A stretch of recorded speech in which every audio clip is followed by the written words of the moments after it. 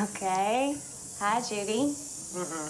Don't hide Judy me. Because I see you, KJ. I know you're trying to plant shit in BJ's head when you're all, oh, we could have stayed at the mansion. There's so many rooms at the mansion. You're being serious right now? I just wanted to see your house. I'm not trying to make fights. That's not what I'm trying to do. I just want to tell you that I know the score. Siblings have to hate siblings' spouses. My brothers hate BJ too. Why do your brothers hate BJ?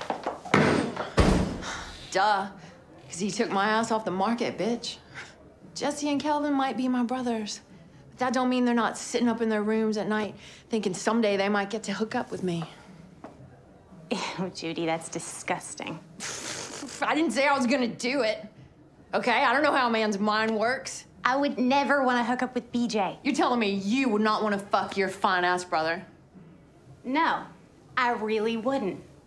Okay.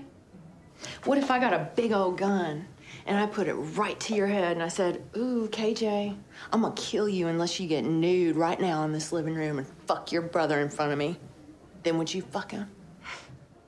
I mean, if you were gonna kill me. See? I knew it.